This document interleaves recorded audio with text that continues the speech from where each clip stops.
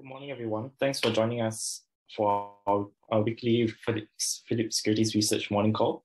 Today's agenda will have Microsoft Corporation Initiation, followed by BRC Asia, SATS, ESR REIT, and ARA Logos Trust, uh, Phillip on the grounds, and Cordlife Group, uh, followed by Straits Times Index Technical Outlook and the Hang Seng Index Technical, uh, and ending with the Singapore Weekly Week 50. This will also be our final webinar for the year. But without further ado, we'll start off with Microsoft. Uh, we initiate on Microsoft with the title Winning the Global Enterprise on Cloud and Security. Uh, we see uh, gl global enterprises in the world upgrading their IT services with Microsoft. So just some background, Microsoft is the largest global productivity software product provider with 89% market share. So that's your Microsoft Outlook, uh, Word, PowerPoint, all these productivity softwares. Uh, they are the second largest global cloud computing company in the world with 20% market share. Cloud computing is uh, simply just renting computing power uh, to, to other people. So let's say if a business doesn't want to invest in their own uh, IT servers or their or their own compute uh, a lot of computers to process all their all their data and their and their services, uh, they can actually rent the computing power from Microsoft uh, from their uh, the cloud business that Microsoft runs called Azure. So Microsoft has a 20% market share in the cloud computing uh, global markets. Microsoft is also the largest cybersecurity company in the world with 15% market share in a quite a fragmented uh, cybersecurity market. They have about more than 10 billion uh, of annual revenue going to cybersecurity. So some segments that Microsoft report in, they report in the productivity and business processes, which is their Microsoft 365 uh, applications and, and uh, so then they have another segment called the intelligent cloud, which includes their Azure business. And lastly, their more personal computing, which is their Microsoft operating system, as well as the, the laptops that they sell, the Microsoft, uh, the Microsoft Surface Pro, uh, the Surface laptops, and also uh, the Xbox consoles that they sell. Uh, the main market for the Microsoft is the US with 50% revenue. So just some, uh, just some more context. Azure is used by 95% of the Fortune 500 companies, which is the largest companies uh, in the US. And uh, Microsoft software is used not only by 89% of companies, uh, of, of users globally, but also 85% used by the, uh, the US government entities. Uh, along with that, the Microsoft operating systems uh, for servers is used by 72% of servers in worldwide. So these are the, the computers that businesses use to store their data to to run all their application and the services for their own com company. And in order to run these computers and servers, they have to rely on an operating system. And most of them, 72% of them, rely on the Windows Server operating system to run all their servers worldwide. So that's how entrenched uh, Microsoft is with regards to uh, the, the IT services that they provide, not only to consumers, but to enterprises in the world. Our first investment thesis for Microsoft is their cloud adoption, Azure, uh, is being driven by their vast enterprise installed base. So Azure, the Microsoft Cloud business doubled its market share from 10 to 20% uh, from 2017 to 2021. And this expanding a lot due to the existing relationships that Microsoft has with global enterprises around the world. So Microsoft already has licenses for that, the server's operating system. 72% of servers worldwide use, use the Microsoft operating system. 83% of global personal computers are licensed with the Windows operating system. So it's, it's much easier. Uh, so many of the enterprises are choosing to go with Azure simply because they already are license holders with Microsoft. Uh, on top of that, Azure offers discounts to existing customers of Windows and SQL servers. Uh, so existing customers can pay up to five times less, uh, um, five times less than competitor Amazon Web Services. So if you look at the the table on the bottom left, you can see that the blue bar, the dark blue area, is how much uh, existing customers uh, want to move into the cloud, move, move their on-premise systems into the cloud. Uh, that's how much they have to pay. Whereas if they choose to go with another provider, which Amazon Web Services, uh, they pay up to they, they can pay up to five times more. The reason is because uh, the, the two reasons are below. So the first reason is because if they go with another provider, they will have to repurchase uh, whatever SQ, SQL or Windows Server license that they already have with Microsoft. They, they have to repurchase it with the other cloud provider. So that adds to the cost. The second thing is that uh, if you move to Azure and you're already an existing customer, Microsoft provides you with free extended security updates for your existing server uh, licenses. So up to, three more years. So that's another point of savings that you get from moving to Azure. And so many, many customers are choosing Azure simply because of the discounts that they can get. Uh, the last point on why uh, some customers choose uh, Microsoft over uh, AWS also is because of the concerns that we have with regards to competition. Because AWS, Amazon Web Services, and also Google Cloud, Amazon Web Services is the largest cloud computing company in the world, and Google is the third, so Microsoft is the second. But uh, customers are choosing Azure uh, because uh, AWS and Google, Amazon and Google, they, they both sell ads and they both sell products on their platform. And so the concern is that they can actually become your competitors uh, if, if you choose to go into the cloud uh, with them. So you're actually working with your competitors. And that, that can become some concerns uh, to some of the customers.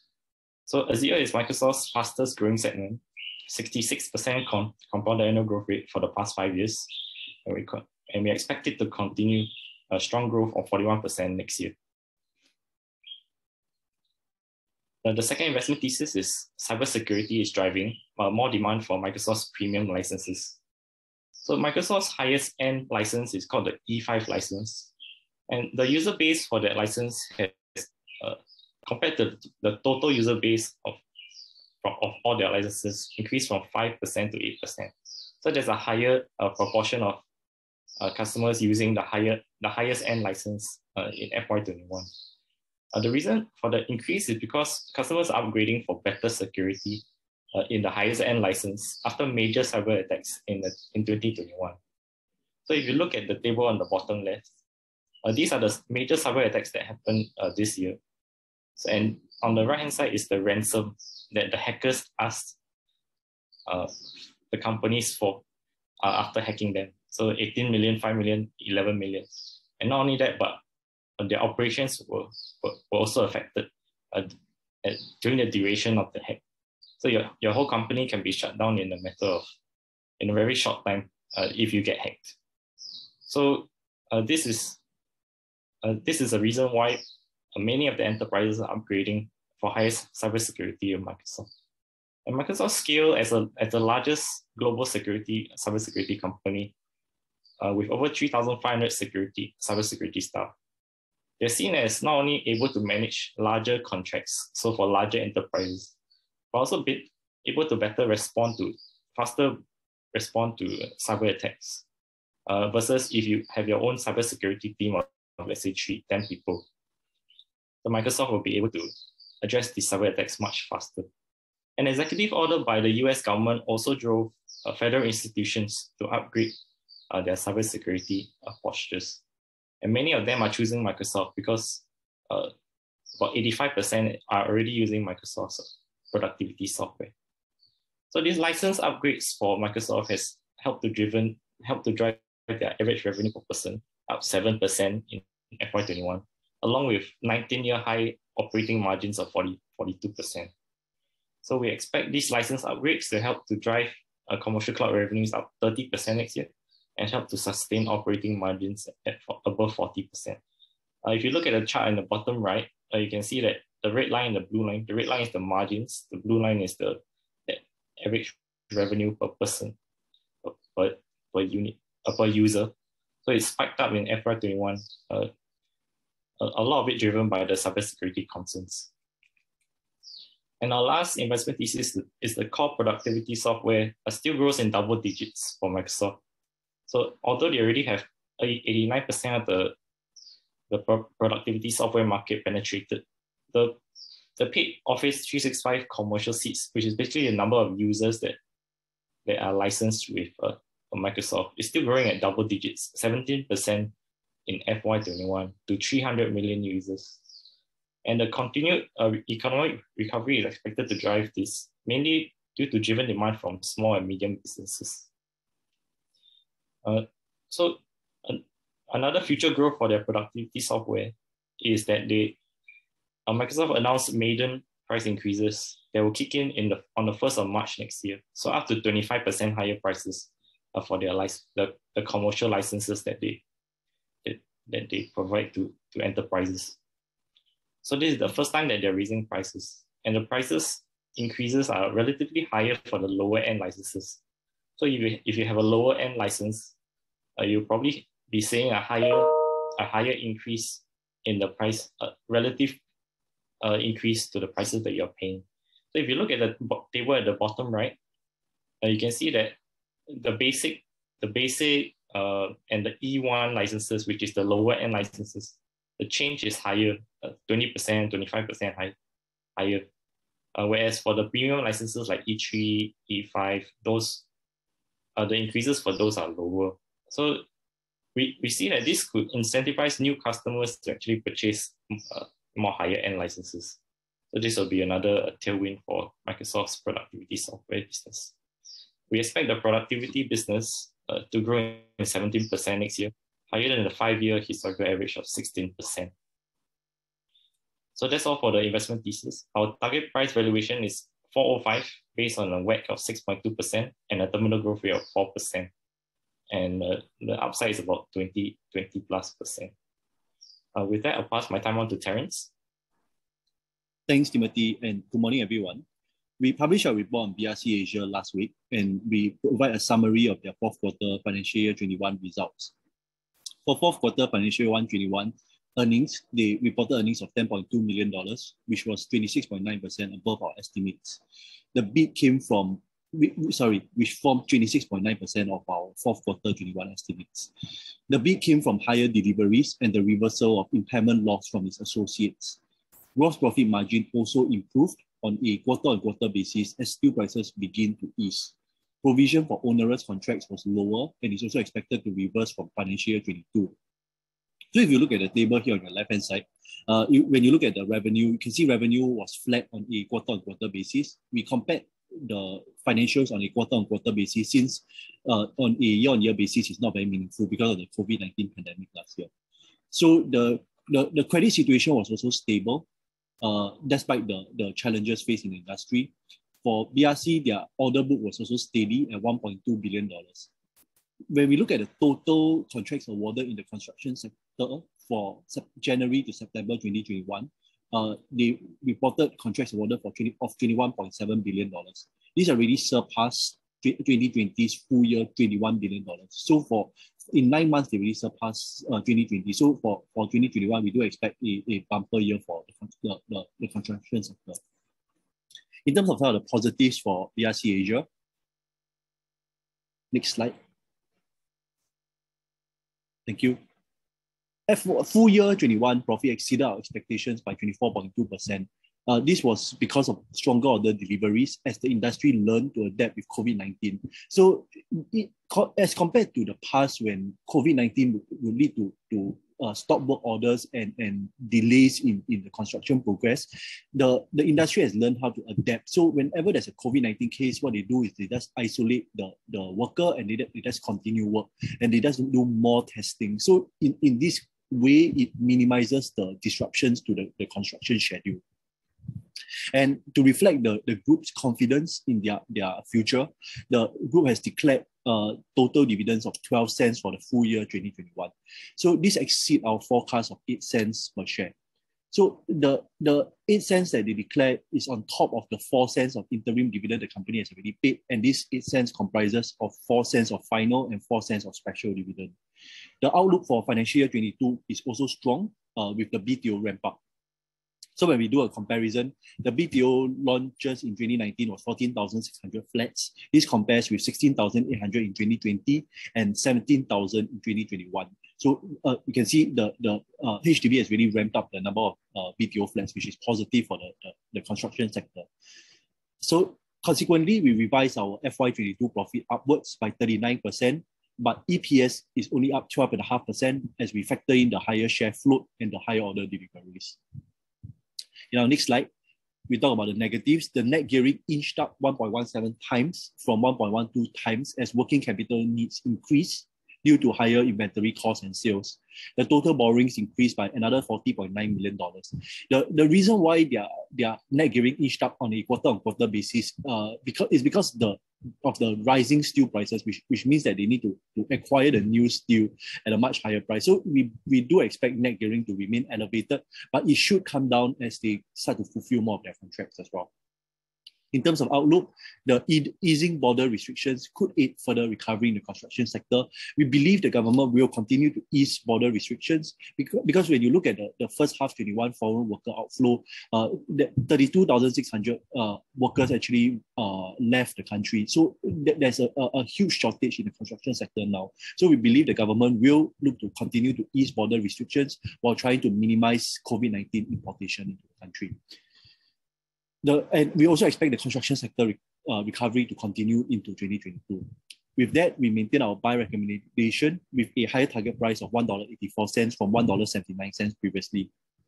Our valuations is based on 11 times financial year 22 PE, which is a 15% discount to its 10-year historical average PE on account of the uncertain environment. And so that's all for BRC Asia. Our next uh, coverage is on SATS Limited, which is a Phillip on the ground. We have no, we have no coverage on SATS. Uh, it, we, we met with SATS last week uh, to give and, and give us a bit of update in terms of the, the group's future direction, a five-year plan, and also the new direction under their new CEO, Kerry Mok. So if you look at this chart here on the, the left-hand side, uh, the glo global revenue per kilometer is expected to uh, reach pre-COVID levels by 2024.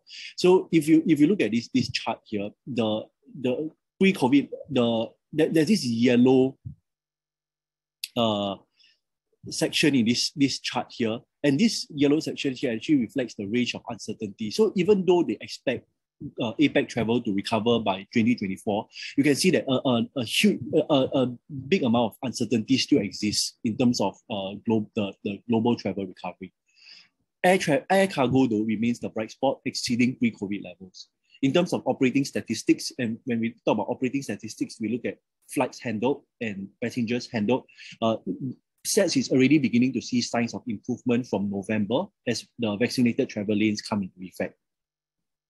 Uh, they also guided that there should be no change in the company direction under the newly appointed CEO, Kerry Mok. Kerry Mok was previously the CEO of the SATS Food Solutions. So that he, he works very closely. He, as part of the core team, he worked very closely with the the, the, the previous CEO. So there, there should be no uh, change in their in terms of their future direction. The next slide. In terms of their their their five year targets, the their their FY25 targets, revenue, they expect revenue composition in FY25 to for 60% of the revenue composition to come from, from food. Uh, up from the from FY19's 54%, and gateway services, which is previously the, the a more stable uh, revenue source for them, to be at 40% uh, in FY25 as compared to FY19's 46%. Uh, travel is expected to account for 65%, down sharply from FY19's 86%. So SATS is making a very strategic and deliberate pivot towards uh, the non-travel uh, segment. This is to reduce their reliance on the, the travel segment, which in the last two years we can see has been a extremely volatile segment. Uh, and, and, very susceptible to, to, to shutdowns. So non-travel will account for 35% of overall revenue, up from FY19's 14%. So they intend to achieve this through the strengthening of food solutions value chain presence through channel expansion. So the meaning of this is that they're going, they, they're going to, to retail through partnerships. So they will they will uh, have restaurants uh, tie ups with some of the the uh, different retail players in the market, and then and then try to to, to enter the this space. And they will also look to continue to grow their cargo presence in different countries. The addressable e-commerce cross-border logistics market is US four billion dollars. So if you look at the, the this chart here, this table here on your, your left-hand side, you can see the FY19's revenue is $1.8 billion uh, when they account for travel recovery, uh, investments in non-travel, and uh, also new investments, they will hit a target FY25 target revenue of $3 billion. Also, do, do take note that this $3 billion uh, target revenue takes into account uh, some of the blue sky scenarios with regards to travel recovery. So that's all for SATS Limited. I'll now hand over the time to Natalie. Thank you, Terence, and good morning, everyone. Uh, I'll be talking about ESR and ARA Logos proposed merger. So just as a refresher, uh, for one for one unit of A-Log um, shares, uh, the shareholder will get uh, 90, 0. Point, sorry, 95 cents um, consideration. 10% of it will be paid in cash, while the remaining 90% will be in, fulfilled in ESR stocks. So that means that um, for one unit of A-Log, you will get 1.68 or rather uh, 1.68 ESR units. Yeah, and the implied share uh, gross exchange ratio is about 1.86 uh, times. So overall, this the, main takeaway is that this uh, proposed merger is pro forma DPU accretive. Um, it will be 5.8% accretive for ESR REIT shareholders and 8.2% accretive for ARA Logos shareholders in terms of the portfolio, uh, at the bottom of your screen, you can see what each of the existing REITs bring to the table. And that will, of course, lead to a combined portfolio of 87 um, assets, as well as 41 fund properties in Australia. Okay, now moving on to the next slide. Okay, so the key merits for this acquisition, first of all, of course, would be the DPU accretion, as I earlier mentioned. And this DPU accretion for, for ESR um, REIT especially comes from two places. One of it is the lower cost of debt. It, it decreases from 3.24 to 2.84%, as well as due to this uh, upfront premium land, uh, payment of upfront land premium. Um, apart from that, because the strong uh, sponsor, which is ESR uh. They have a ROFR pipeline extended to this combined entity, valued at 50 billion US dollars, of which 2 billion is immediately executable. Uh, and because the sponsor is in several countries, uh, you can see in the graph on the uh, sorry in the, in the picture on the right hand side, they are in uh, China, India, Australia, and New Zealand, South Korea, Japan. So uh, whereas these two ESR and ARA logos they are only they only have presence in Singapore and Australia. So because of the of the strength of the sponsor and their their established footprints in various countries, this actually lowers new market entry risk for the combined entity. Post-merger, 66% of the portfolio will be in logistic and high-spec assets. So these are new economy asset types. Um, and moving forward, of course, they hope to grow this proportion of their portfolio to about 80%. Um, there's also diversification and reduction in tenant concentration risk, uh, and this larger scale allows them to undertake um, larger scale AEIs. Uh, at the right at the bottom of the screen, there are two graphs. Um, basically, what they are showing is that um, ESR REIT uh, is the largest S-REIT sponsor by AUM, the first graph, uh, two times larger than the next peer, which is CapitaLand, um, as well as the, the kind of uh, new economy assets that they have uh, is 150 million US, US dollars worth of new economy asset. Uh, and the last graph actually shows the amount of assets under development, which will eventually form or join the pipeline for this combined entity in the future as they stabilize. Next slide, please. Just to wrap things up, this is what we can expect, the expected in the, in the indicative timeline. So uh, the EGM will happen sometime in early January. So this is when both uh, ARA logos as well as ESR shareholders will need to vote um, either in favor or against this proposed merger. Okay, that's all from me. I'll now hand the time over to Vivian for Cordlife. Thanks, Natalie. Um, so this will be a Phillip on the ground for the webinar that we hosted Cordlife for, and we do not have coverage on Cordlife. Firstly, um, Cordlife is a leading provider of private cord blood lining, cord blood and lining banking services in markets including Singapore, Hong Kong, India, and also other markets. But these are the three main markets. So locally, Singapore contributes about 40% to the total revenue, and Hong Kong and India contribute about 35%. So the three main markets contribute about um, 75% in total. They have two main segments. Firstly, which is the banking services, and this includes the storage of cord blood, lining, and tissue for 21 years from the child, uh, from the birth of the child, which makes up around 95% um, of the total revenue. And the second segment is the diagnostics segment, under which they provide a variety of screening tests the company is currently trading at about 15 times PE and they have zero debt. So the total cash is about $20 million. So what exactly is cord blood and lining? Firstly, cord blood is the blood from the umbilical cord um, left after childbirth. And there are blood stem cells within the cord blood that could be used for stem cell transplants in the future. The differences between cord blood and lining, uh, you could refer to the picture on the top right. So there are different types of stem cells that could be found in these uh, three things. And for, for example, for cord blood, it's mainly MSC kind of stem cell. And for cord lining, you could um, you could have other stem cells, including the epithelial stem cells. So this is also the reason for why the price point for storage of cord lining is slightly higher. Why do customers want to store it? So for Cordlife, they will engage expectant mothers or women who are thinking of having children and educate them about the benefits of storing the cord blood or lining. Other than being able to be used for own self, for example, for the child, um, which is autologous, it could be also used for family members, including parents, siblings, or even grandparents, which they call it allogenic purposes. So some clinical trials for stem cell treatment um, involve using them for autism treatment, which is being carried out by KK Hospital. And Cordlife is also working with the Philippine site to looking into using um, stem cell treatment for diabetic foot ulcer, which they call it um, DFUs. The company is also venturing into other forms of banking services.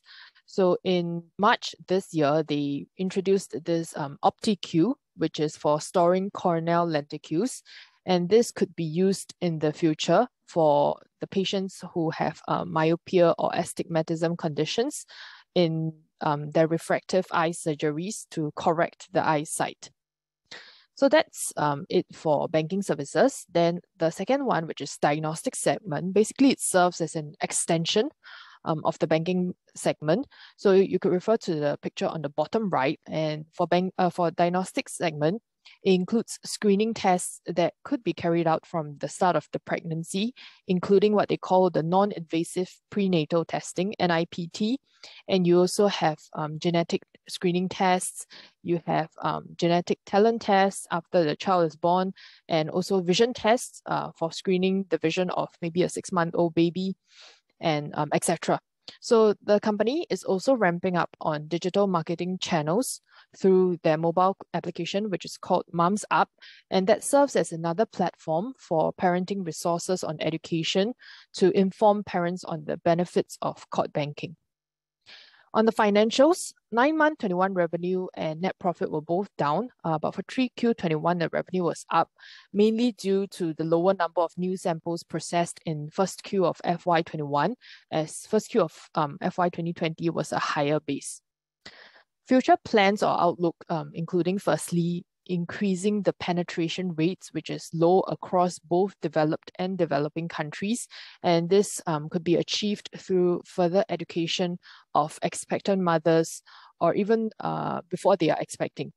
And not only um, banking services, they are also looking into other kinds of testing services basically to provide patients with services at various stages of life. So not only after the child is born, but maybe when the child um, grows up to three years old or six years old, then they could go back to Cordlife for screening tests, including vision screening tests.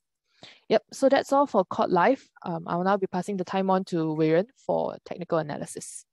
All right. Uh, good afternoon, everybody, and thanks, Vivian, for the Cordlife. Um, so um, for today's technical for the last of uh, 2021, I'll be doing a Straits Time Index, Hang Seng Index, and then Hang Seng Tech Index. So uh, let's move on to the STI.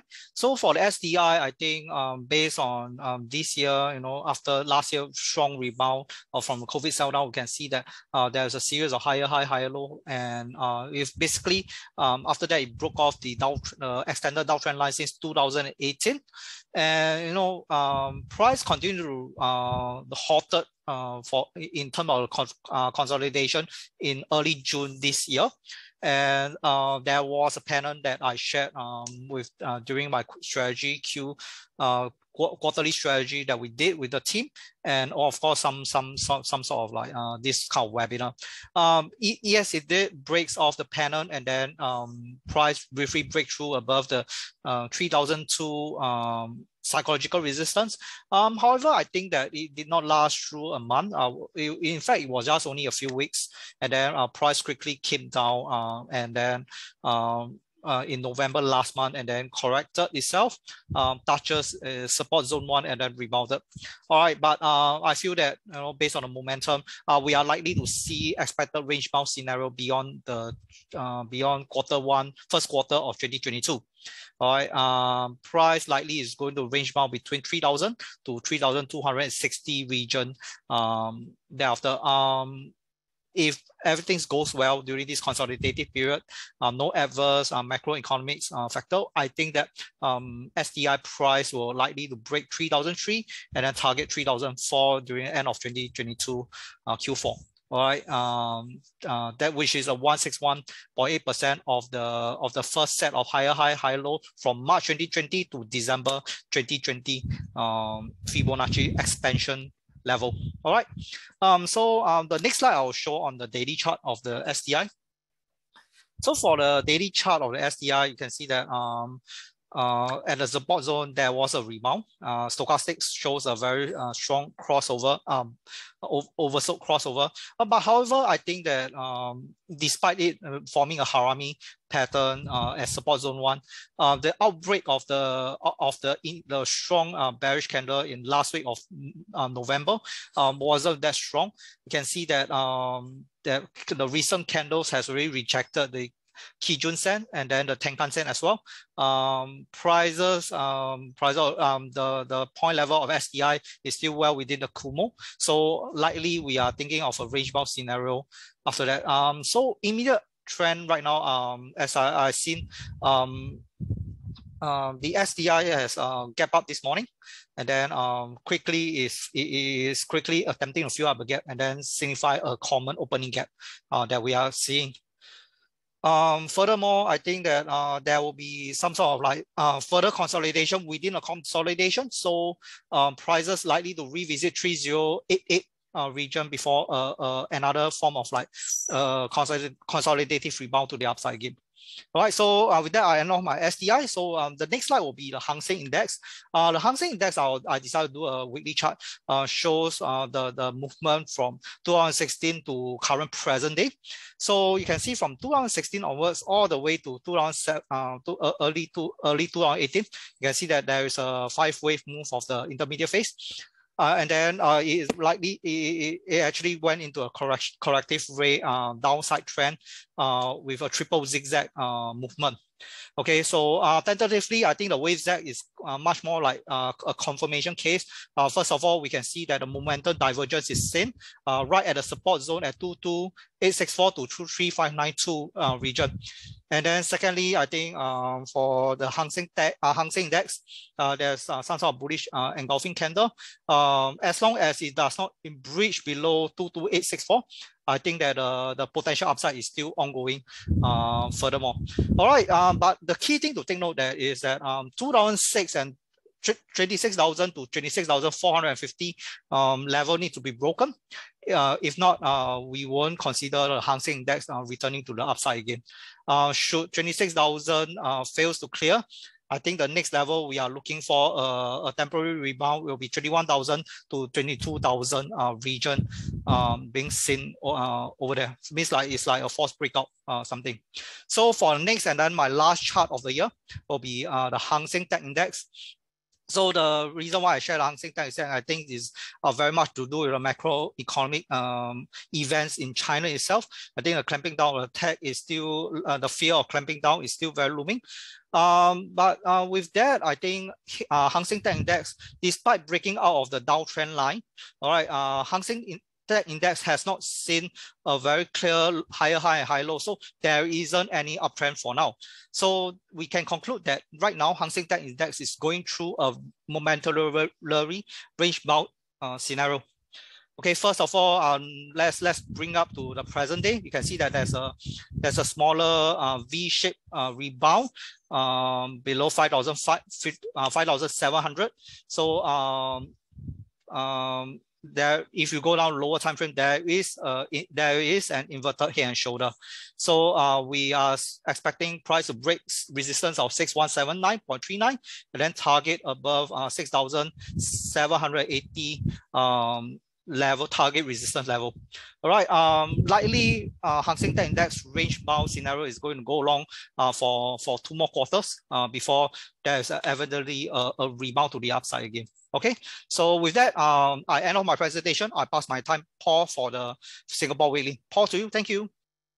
Okay, uh, thank, thanks, Biren. So just move on to some of the key macro highlights that were released last week uh, in terms of the property, this, this doesn't come from URA, this comes from Realis, which we subscribe. So uh, the numbers may not be exactly the same when URA releases the results, because uh, I think uh, Realis is more when you sign the SPA. I, I think URA is more from uh, what they get from the developers. But nevertheless, uh, the numbers that we see is that the new new home sales continues to be uh, very strong. It, it was about 1,400 units compared to maybe 900 the month ago. And year on year compared to last year, it's almost doubled. So new home sales is still very strong. Uh, in terms of resale units, it's about 1,002. Uh, it's down year on year, but again, 1,002 is still a very, very strong number because the year ago was about 1,005. The, anyway, in conclusion, uh, new home sales and resale continue to be uh, very vibrant in Singapore, at least for the November numbers. And this should, again, still post well for the real uh, for the developers and also for the real estate agents. Uh, in terms of the other data point was construction awarded. Uh, the numbers is very volatile. Uh, this comes from BCA. That means the amount of contracts awarded by the public and private sector. So it came about 2.4 billion, which is um, much better than, than last year's 1.6 billion, but slightly off from 2.7. But we'll show you a chart later that the recovery is still underway and is yet to peak in terms of uh, construction contracts awarded. Uh, there was also some news on the uh, MAS financial stability review. Uh, there was some news that you know, maybe household debt in Singapore, I mean, came from the media that was too high. Then maybe just double check the number, it doesn't seem so. I think household debt is 70%. It's uh, higher than the pre-pandemic, but it's just slightly off the all-time low of uh, 66% and we are far, far lower than a lot of Asian countries. We'll show you a chart later. In terms of the US, I think we, we all heard the news. There was the CPI numbers, which is highest in 30 plus years. And also the headline was 7%. So inflation in the US is running about 7 and it's about the, eh, almost a 40 year high. Some of the components, I mean, I was so curious what were the components that were rising the most a lot of it is uh, vehicles, so used cars, new vehicles. Again, all this is uh, pandemic related, the shortages in semiconductor especially. Uh, services actually didn't move when you look at airline fares. Uh, the other big number that came out from the US was the jobless claims. So this is the amount of unemployed people you know, looking for unemployment benefits. So this is a weekly number, so it can be a bit volatile, but regardless, the number that came out for the week of 4th December uh, is 184,000. So this is the lowest, it's like since I don't more than 50 years. So just another indicator that the US economy remains strong, especially on the, for labor. Uh, we have uh, Phillip on the, uh, on the ground. Uh, there was there was a question of why is Phillip on the ground. Phillip on the ground is, is just basically our commentary for stocks that we, we there's it's not rated or just basically those that our analysts have access to meetings, group meetings at least, which not a lot of attendees, not a lot of uh, retail investors may not have access. So that's why we, we just do this way on the ground just to share with all the list, all the attendees some of the key points of the meeting. Hopefully the key points and hopefully you can just help those that, that may not be, have get access to such meetings or were not available to, for such meetings. Uh, in terms of a tactical view, uh, even the CPI read was so high, almost a 50, 40 year high. Uh, the bond markets didn't react. Actually, the bond markets was, I think, flat or slightly off. So it means that the, the market already pricing in a lot of this inflation. So we think one possible scenario is not, not so near, but maybe in six months' time, when we hope see inflation maybe tapering off, uh, it could actually be another driver for the equity market. So again, this is uh, maybe this is a couple more months away. Uh, I think this one we know uh, this is all kinds of news on Omicron, uh, but again, this is the UK, sorry, not the US. The UK HSA just gave some commentary. Uh, in terms of the key event, I think the key event is everyone's watching for would be the FOMC meeting, uh, and then uh, and it will be probably dis be discussing how much more, how fast they want to, to do this tapering or stop buying any more uh, government bonds and mortgage bonds. Uh, in terms of events, uh, there's uh, again this the, there will be no more events for the rest of this year. I mean, just only two weeks, but uh, next year I think 13 January, we'll have hyphens, and 15 is our usual Singapore strategy on Saturday, and this TOTM Technologies, which I'm not sure what company is, but anyway, this is another event that we'll be hosting for all attendees. Uh, next slide. Uh, in terms of the uh, pandemic, again, just do a quick update. Uh, you can see the blue line, these global cases, is, it continues to rise. I think the good news, if there's any, is that the mortality rate is stable. I think the last time we had such a high number, you can see from the red line, the mortality rate is much, much higher. Uh, what's driving the increase is, is, as mentioned before, is Europe. I mean, this is just for info purpose. Uh, next slide. Uh, in, in, Singapore, the cases, uh, the good news is that that cases are coming down and we don't see any major spike since the 22nd November easing, the dining restriction easing, which we all know of. And uh, so there's a possibility that end, end December, they could pare down the restrictions. Uh, again, expectations is that end December, they could make another round of easing. Uh, next slide. Uh, since it's the last time for the year, we just wanted to keep uh, update on the mo mobility. So this is Google, as you all know, Google is tracking all of us. So this is just to track the movement of of uh, of, of those Google users in Singapore. Uh, you can see from the blue line, uh, the main one is the blue line. You can see that the retail activity has returned. I think retail is probably the the blue line is probably the highest level uh, uh, since the pandemic occurred. Of course, zero is pre-pandemic. So you can, can uh, you can see that it's probably 10% off the highs. Uh, I mean, the, the 10% off pre-pandemic levels. Again, this is a bit, there's a bit of seasonality since we're entering the festive period, but it, it's probably good for retail more so that just the, the, the uh, activity is returning to the malls. I mean, based on this.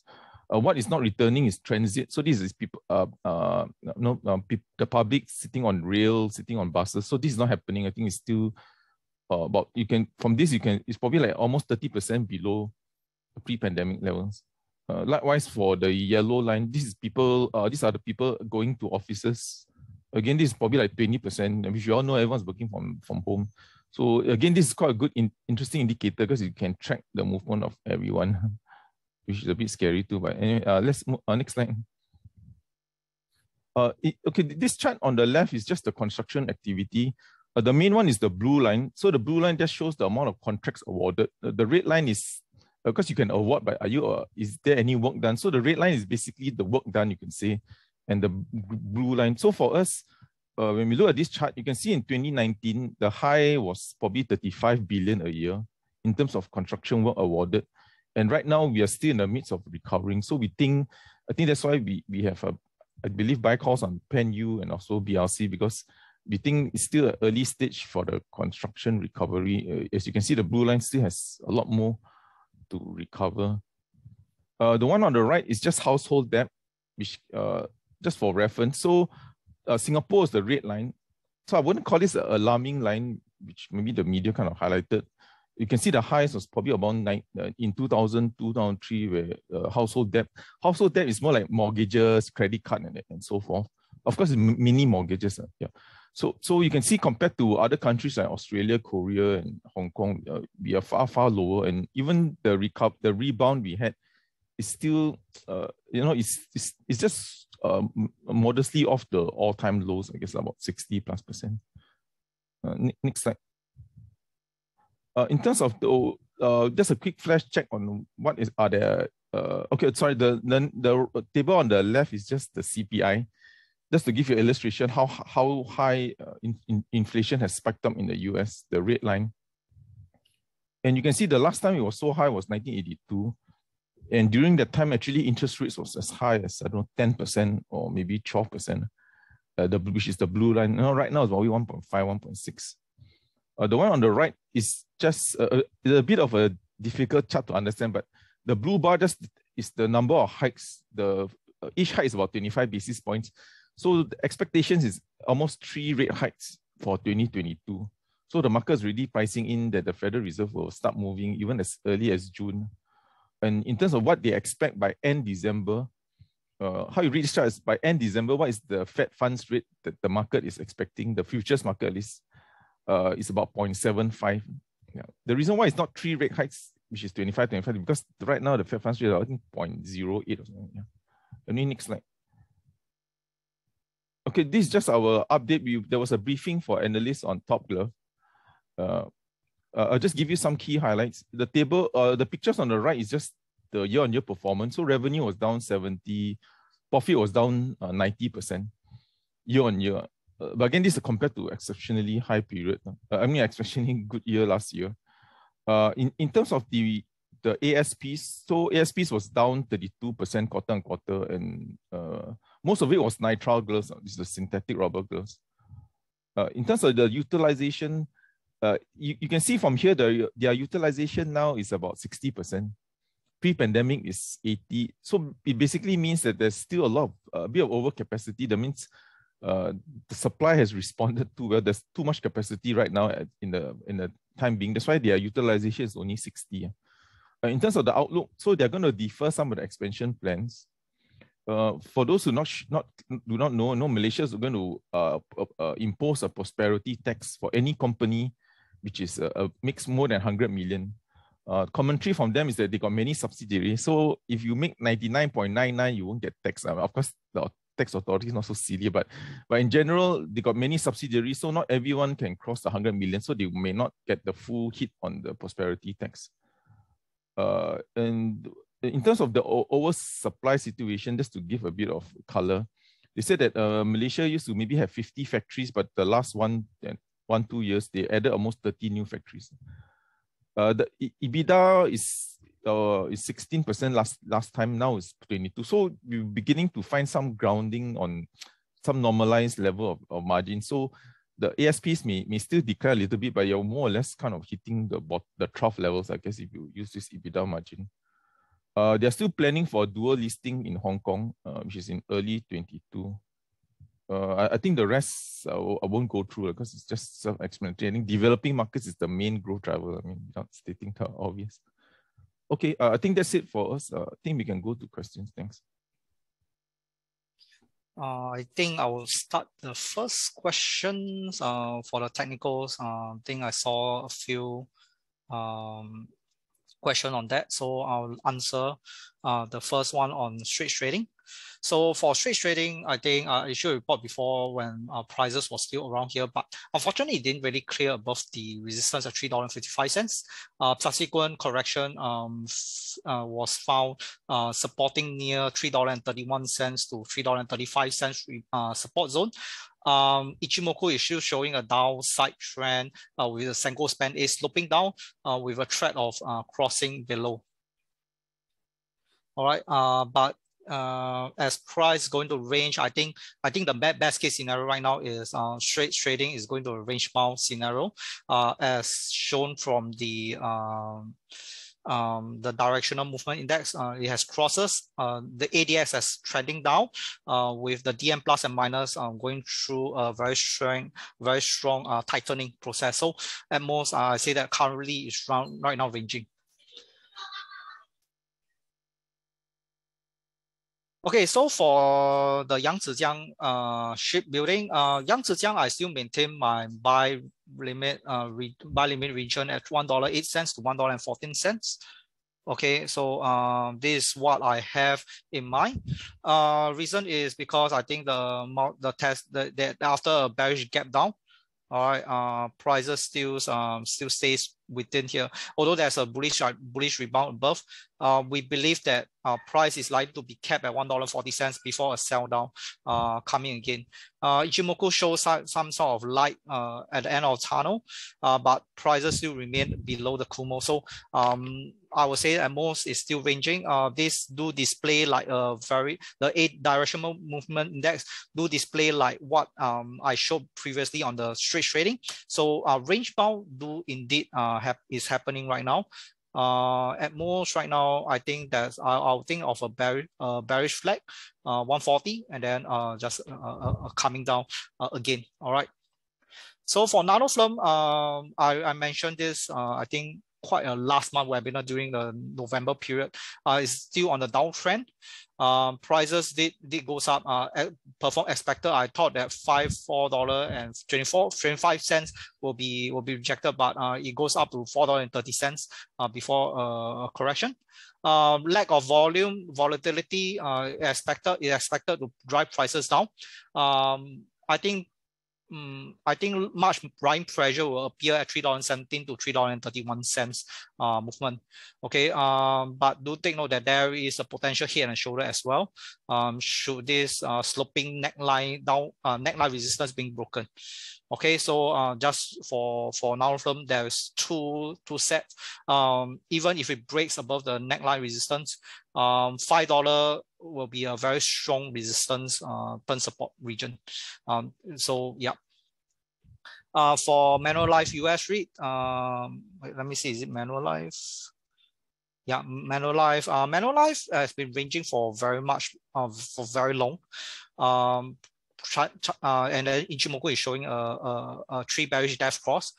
Uh, so if price is going to break 0.645, um, I think I expect uh, 585 to 565 to be the next uh, rebound region to the upside.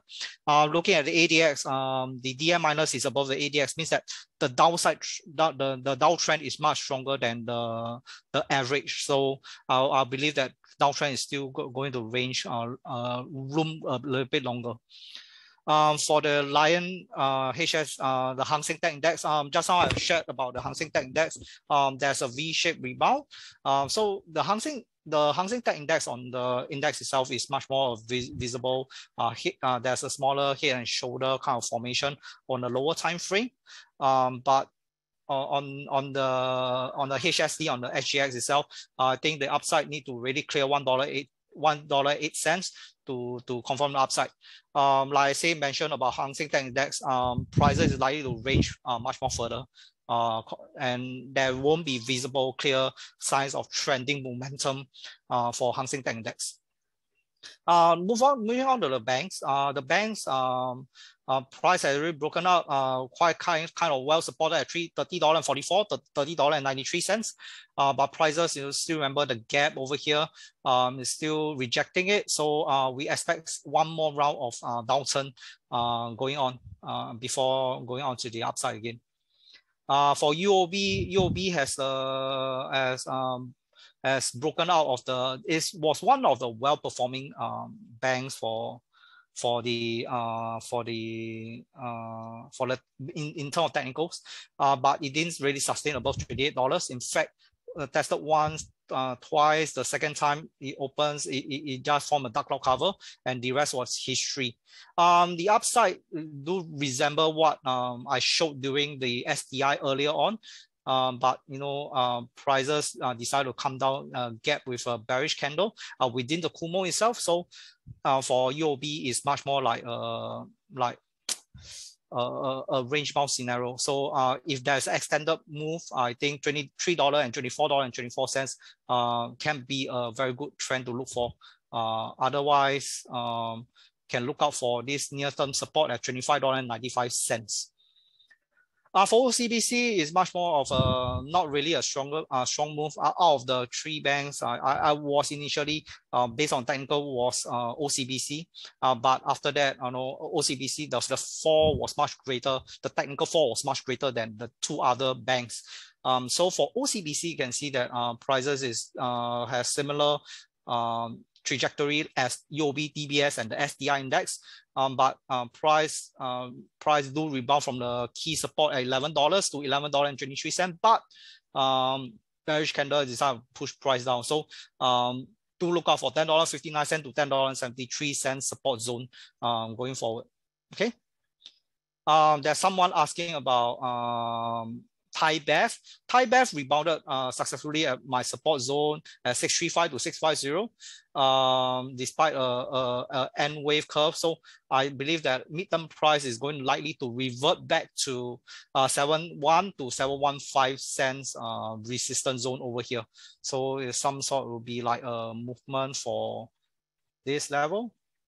Yeah, so that's for Thai Uh, SunPower, some power is uh, having a double bottom uh, with a falling wedge in between. Uh, divergence can be seen, but ADX is not showing a very good uh, signal. So means that uh, price is not trending. Uh, furthermore, you can see that there is a bearish Harami pattern. So uh, the only way to track the, the bearish Harami is to clear 505 and then 530 resistance zone. Um, and then it breaks up on the upside uh, again. So that's the, the thing it, is about. Uh, lastly, I think um, uh, Keppel Corp, Keppel Corp, uh, I, I failed at the report again. So uh, price uh, has a three wave down back to the to the support zone, uh, but the, the upside movement remain sluggish. Uh, there is a bearish uh, dark cloud cover potentially uh, crossing below the Kijun Sen and the resist and rejecting the resistance key resistance at 530. Uh, this was a key resistance because this was a previous support that that that was that was on the upside. But unfortunately, I think price is going to go down lower. Um, I think uh, looking at that, we are looking at 5493 to 485. And then subsequently, if this region is broken, we will be looking at 461 to 474 uh, $4.74 and $4.61. Okay, um, I think that's all for me. Wait, uh, let me see. Um, there's one more. I will, I will, I'll do one last one before I pass my time. So I'll do bar. Um, I'll do nine nine eight eight. Alibaba. So Alibaba uh, downtrend still remains. So uh, I, I won't recommend um, doing uh, concentrating on Alibaba. I will say that um, looking at JD and Meituan uh, will be a much um, um, a much better play. Um, Meituan, as you can see, um, the 3N wave, uh, I think there's some sort of much uh, better play instead uh, going forward. And then for Meituan and uh, JD 99618. Uh, so JD has uh, completed its uh, upside and then uh, if price do uh, retreat back to 271 to 279, there is the potential of going back to the upside for JD.com. All right, um, lastly will be Ping An. Ping An, I, um, if I'm not wrong, okay, um, Ping An. Ping, so for Ping An, uh, prices remain very much of range bound. Okay, I'm going to close off. Um, price is it to cross above $62 um, to confirm the upside. Otherwise, I think that uh, prices is going to uh, range for the moment. Um, likely is going to form like kind of like a, a symmetrical triangle. So uh, be patient, wake up, wait for a symmetrical triangle to form, and then uh, buy on rebound. That will be a least uh, risky buy for Ping An. All right, so uh, that's all for me. And then I'll pass my time to Paul and my rest of colleague to answer the rest of question. Thank you.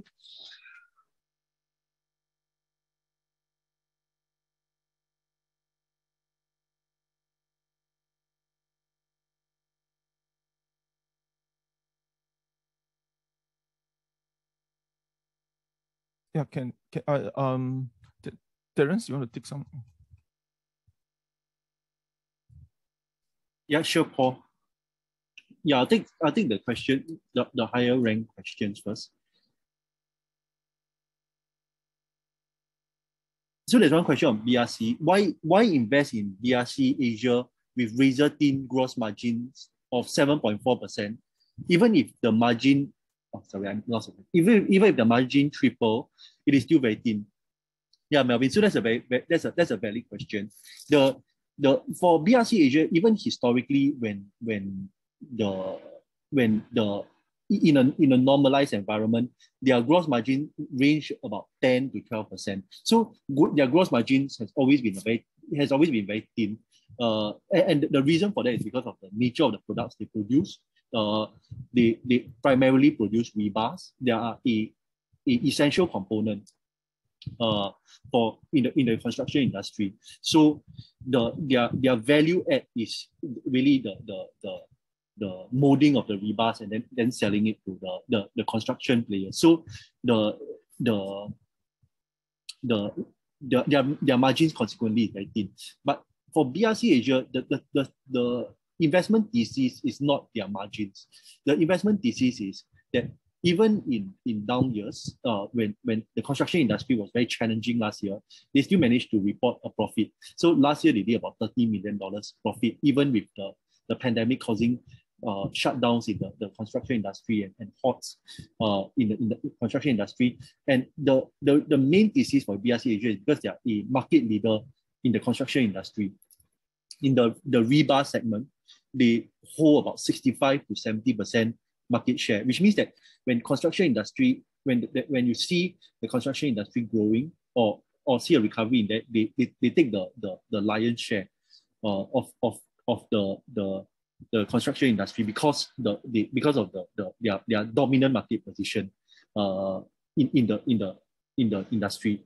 And and they and and they also they also uh, reward shareholders as well uh, at, at the when at our last report uh, when we when we published our last report when we hiked the target price uh, they are they, they are trading about 7.9 percent uh, dividend yield. So so that that we think give give investors some comfort in terms of uh, the way they they kept they return their capital to to shareholders and also uh, and also the uh, reflect their confidence like the outlook for for for the future.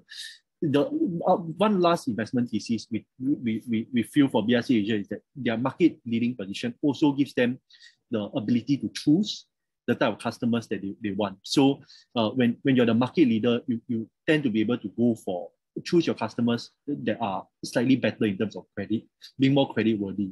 Uh, so even even though you see the, the, the construction outlook being a little bit more challenging, they are able to uh, also keep their, their receivables impairment to, to the minimum. In, fact, from our presentation, their receivables impairment uh, was below uh, what, what we thought it would, uh, they would report. Yeah, so let me know if I answer your question. Uh, if not, you can just follow up with another question. I'll go to the next one. What is your BRC Asia's previous target price? Our previous target price was $1.79. Uh, we, we hiked it up uh, to 184, also still based on the same uh, 11 times PE metric. Uh, even though we revised our profit upwards by uh, nearly about 39%, but the, the, the EPS was slightly lower because of the expanded uh, share float that they did in, in uh, uh, a few months back. Yeah, I, I think I just let me just scroll down and see if there's any more questions. Uh, I, I think I think I see one question for Paul, but may, maybe I, I'll just try to, to take this also. Uh, uh, hi Paul, is the TP of 44 cents for PanU as mentioned in Jie Kui's report on 6 August still valid?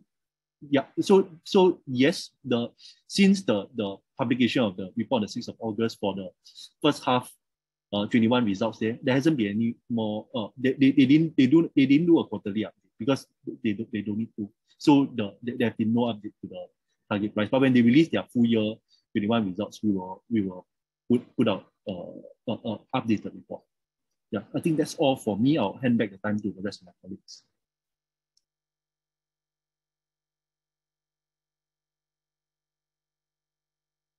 Okay. Um. Okay. let me just try to answer some of the questions. Uh, may I know, uh, while uh, ComfortDelGro has not yet been removed in the index, will it cause a risk that its share price will fall further until it is removed? May I know what is the next support for ComfortDelGro? Uh, I think that that support will probably be for Weiren.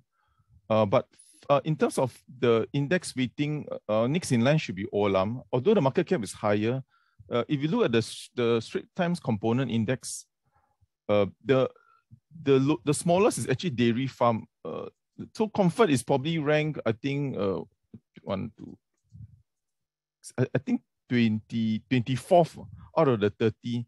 So below there's Dairy Farm, Sembcorp Industries, Jardine Cycle and Carriage SATS and Yangzijiang. Again, my, my only guess is that if they want to take down, take out Comfort with Olam, it should be those at the below uh, Comfort because it's not just the market cap, it's the float. So so ComfortDelGro is quite a large float in, uh, so that's why they're not at the bottom. The bottom is actually Dairy Farm, and after, before Dairy Farm, Sembcorp Industries. Again, my own guess if if it's if uh, if they were to remove, then these would be the ones that could be at risk rather than Comfort. Uh, again, this is just my own guess because unless Comfort is the, the bottom, so this is based on the 10th of December. Uh, yeah, I hope that that that helps. Uh, uh, the next one is, Hypo, do you have any comments on the current weakness on the share price? Yeah, man, this is the most, the biggest mystery of all. this is like the big mystery. Even I was speaking to someone who's a shareholder also, they also can't understand why. I really don't really, fundamentally, there isn't anything. Uh, they probably can hit 70 or 80 million. So the market cap is probably 10 times PE. Their net cash is is uh, 200 million out of that 700. So five, uh, probably like eight times PE or six, seven times PE, excluding cash. So, sorry, eight, seven, eight times PE. So uh, I don't see anything. I didn't hear any anything big. Yeah. So a lot of those who took the IPO, uh, a lot of clients that took the IPO are all complaining. That's why I don't have any insight or answers for them. Yeah, I can only give you all the complaints that I hear. yeah, thanks. Sorry, sorry, not very helpful, but anyway. Um, okay, um, let me answer this before I hand it over to to um before I hand it over to uh to Natalie. Uh, Governor Paul and team are asking about the coming SPAC IPO. Are the shares that we managed to apply at IPO redeemable before a merge? Uh, yeah. Uh, just for your info, okay. Uh, let, let me just do a quick share screen. Uh, so, sorry, Viren, if I can share screen. Uh, I, I'll, I'll just try and quickly share. Uh, again, this is all new for us too. I mean, we've not really done, but this is from SGX. So on the day of the listing, uh, it's not even called shares, it's called units, okay? Because it's a, then after 45 days, they will detach the shares and units, mandatory detachment. So your deadline to vote is, is here. Uh, the one I'm not very sure, which I should go and check anyway, but I'm not very sure is whether if you did if you redeem, can you still vote for this EGM? I'm not not very sure of, of that. That one is I, I myself not clear, but you can your deadline for redemption is here. Uh, the the the other thing is that thing I think the question was also the pricing is hundred units and the price is five dollars. I think that's probably the most likely price. Yeah, I I, I yeah sorry, Viren, I took back uh, handing back the screen to you. Yeah. Um, then secondly, if you buy further shares on the SPAC from the secondary market, are these shares redeemable too when you wish to uh, when shareholders wish to redeem. Oh, yes, yes, yes. The redemption is for everyone. And the redemption can only happen uh, is if the merger uh, uh, if the merger is successful, the demerger. So I think you can also vote for it. Yeah, if I'm not mistaken. Yeah, so a bit confusing on the redemption, but you can you can uh, you can redeem regardless if you are uh, if you buy it at IPO stage or you buy it in the secondary market. I think the best to buy is when it's still in the units uh, before they start to detach, right? 45 days, because at least if you buy the units, you still get the warrants. Yeah, because the detachment is only on the 30th. So I think you should be still entitled to the warrants if you buy uh, 45 days before it, it detaches. So that means it breaks up into shares and, and yeah, it's a bit very confusing. I mean. Yeah, thirdly, what would be the probable share price of the coming IPO and what would be the minimum lot size to apply? Yeah, uh, I think the minimum is 100 uh, according to SGX, and the share price is five dollars. That is likely going to be the price for, for Singapore. I mean, US is ten dollars. Yeah, I, I, hope that that answers. Until we get the first SPAC. I mean, this is as much as I can share. Yeah, th- th- thanks for that. Uh, I, hand it over to Timothy and, and Natalie. Yeah, thank you for the question.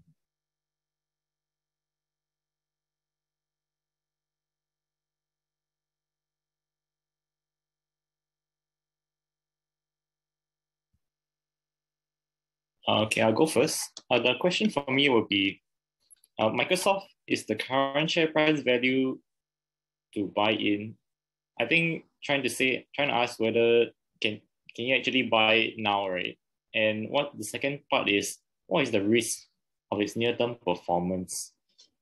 Okay, uh, with regards to the current share price, I, I'll leave that to Weiren if he can answer that. Uh, but the current share price is 342.5 and our target price is 405.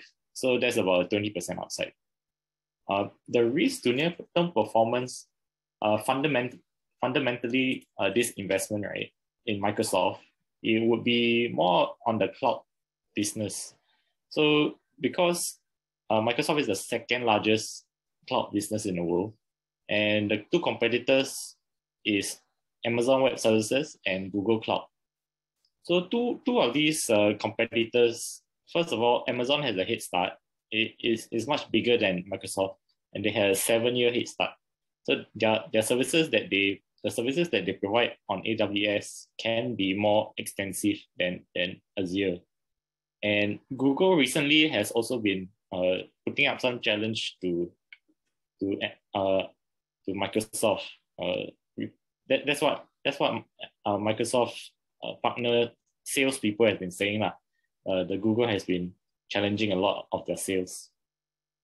Uh, but to help to mitigate this, Microsoft has, is slowly uh, releasing, intru uh, introducing new solutions for their cloud business. So right now, they recently introduced uh, specific industry solutions for the cloud to financial services, manufacturing, and non-profits. And they also have the most, uh, the most regions that the cloud can reach. So they have 73 regions compared to AWS only 24 regions. So these two things will help, uh, we believe will help Microsoft still take market share uh, with regards to the cloud. So the market share doubled in the, in the past three years. And I, we think that uh, it, there's still room to continue. Uh, another risk would be the supply chain issue because uh, Microsoft, they do do hardware which is the, the Surface laptop that they sell, and also Xbox. So currently, they, they are still, the recent update is that they, they have not been able to, to uh, fulfill demand for these two, for the hardware devices. So the, the risk is that the supply uh, shortage may come in worse than expected. Although uh, we're already seeing that it's, it's, it's been recovering, it's been easing uh, recently. Uh, so Microsoft Despite this, Microsoft has kept a quite a strong forecast for their uh, more personal computing segment, which includes all these devices. So they still keep their very strong forecast. So that is quite comforting with regards to that risk. So these will be the two risks that we are looking at for Microsoft as an investment. Okay, uh, I think that's all for me. Uh, I pass my pass the time to Natalie.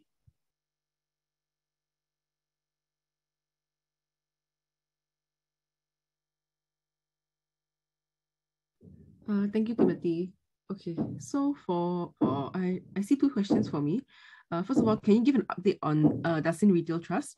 So for Dasin, they actually skipped their uh, third quarter uh, business update.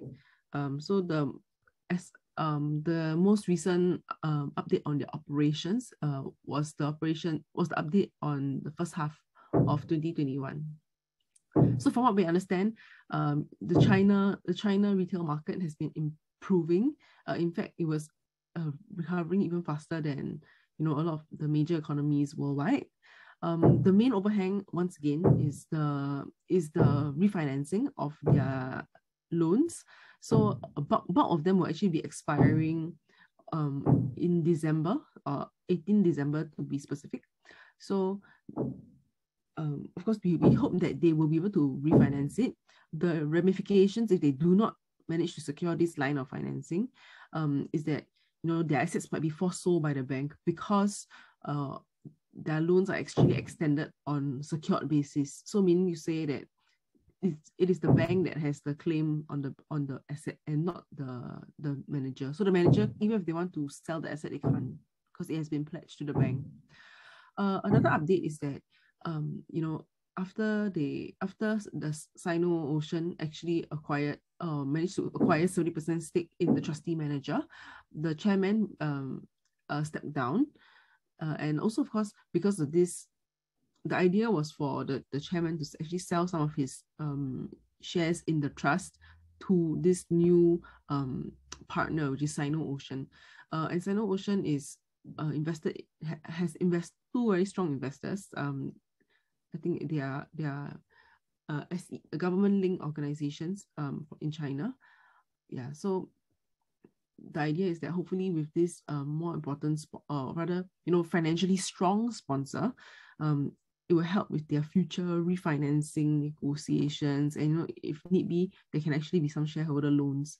Yeah so this is just step one. Uh 70 percent stake in the in the trustee manager is just step one. Step two would be um you know sino ocean actually exercising their option to acquire the shares from the from the outgoing uh, chairman that will increase their stake from in, in from about 6% to 30% uh, to no more than 30%. Yeah, so then that, I think that would be a even more credible uh, show of support for for Dasin. Yeah.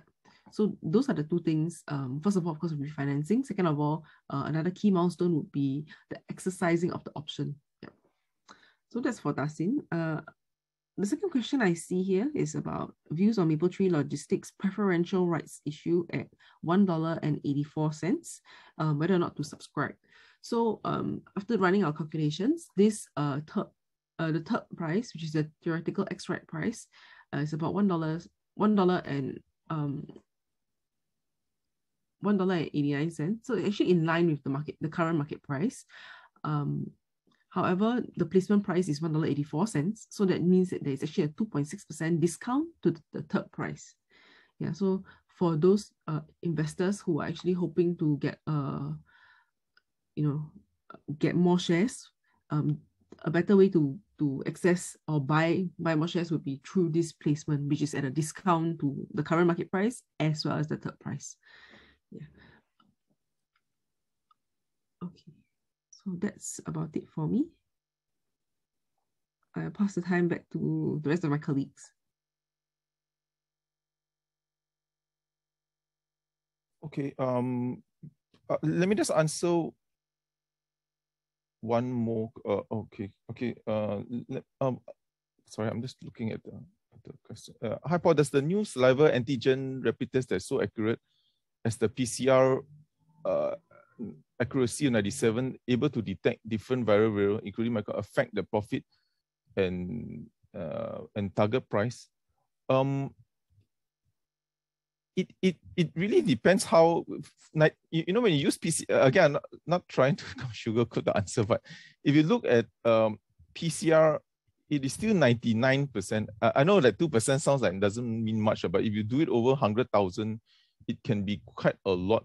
Uh, that's number one. Uh, uh, uh again, of course, saliva is going to be so much more easier, but I don't, it may not totally replace it when you do international travel, because I don't know whether if other countries will accept this saliva antigen. So that's the first one. And for our Q&M, uh, we've already put it, the, I think our valuation is 60 million, which was the transacted price. So uh, the, the contribution from the, the, the contribution from, from uh, in terms of our target price is, I think only 10 to 15% of our total target price because we only took in uh, of our market cap probably 600 plus million. Uh, uh, again, I should know this, but I'm just pulling off my head. Is the market cap that we are taking is only 60 million. So for our target price, it is only 30 million that of of this business is in the target price. Uh, because just as a refresh, when the when this PC, PCR business was sold to uh, to to Aoxin Q&M, at 60 million, I just I revised all the target price to just take in 30 million. So so it doesn't really so we're not really taking in much earnings from uh from the acumen, which is the diagnosis diagnostics part. Uh, so, so the the the the COVID-19 test. Yeah. So I, I know it's a very long answer, but but yeah, of the target part, again, probably 10, 15% only comes from the acumen. Again because we i mean we all know this it probably might be peaking also so that's why we don't really take into account large uh so much. We're just hoping that maybe if they can do some uh, art test too and not just do pcr so that could also help the business. Yeah. Yeah i hope i hope that that that helps yeah, because we, we we we we in the past we took in 18 times PE for the business, but when the whole thing went to transition, and uh, when it come to endemic, we didn't take we kind of derated the whole uh the whole COVID-19 test business. Uh, okay, the next question is, uh, do you have an explanation why Stamford Land share price dropped close to 30% after announcing rights issue? Uh, my only, I, I was looking at the circular. Um, I, I just share it since since we have time. Uh, okay, for just for arguments. So the, the circular, uh, the share price was, you know, the first thing we, when we look at, at least for me, uh, for the rights issue is always the theoretical ex-rights price because this means that if uh, if immediately once the rights issue is, is over, the share price will drop from 48 from 41. So uh, the selling was expected, uh, but I think whoever sold it, because there's no trading in these shares, hardly any trading, and the volume shot to 3 million, uh, I think probably someone who didn't want to take or couldn't fund his rights issue probably triggered the selling and probably that, I don't know, maybe margin call was, I'm not, no idea. I'm just totally speculating here uh, that's what triggered it to drop 30%. To right now, the share price is back to almost 34, which is the rights issue price. So, so, uh, so that's why you don't see any more selling because it doesn't really matter because it's really back to rights issue price. Uh, because it's almost it's almost a one for one. Uh, it's nine shares for every 10. So uh, when it shot lower to 37 cents uh, to maybe 41 cents, that means the theoretical ex-rights price, which is which is based on the the amount of cash you raise from 34 cents plus the current market cap, it shot down to 37. Then you got this keep on, it keeps on uh it keeps on snowballing downwards to for 34, which is the rights issue price, which only makes sense. So the, the person who has the shares now doesn't won't get diluted. Uh, he was he will just uh, keep the shares. I mean, he will just keep the amount of shareholding because, uh, yeah, I, I, I think that is what happened again. Uh, hope it wasn't that confusing. Yeah. Okay, um, not sure. Uh, uh, I'm not sure if anyone else has any questions. Uh, if not, uh, Viren, do you want to help in anything else? Uh, I think there's a concurrent another webinar running, so I think we have to end it soon. So sorry, guys. Oh, okay, all right then. So, uh, thanks everyone. So this will be our last uh, webinar for the year. Just want to, if you don't, uh, wish everyone a Merry Christmas and also have a good year ahead. Uh, uh, uh, uh more importantly, a healthy and of course a very prosperous 2022 for everyone. So thank you everyone for your for all your questions and your time sp to, uh, spending with us. So uh, take care, everybody. We'll see you next next year, uh, early next year. Thank you, everyone. Take care. Bye bye.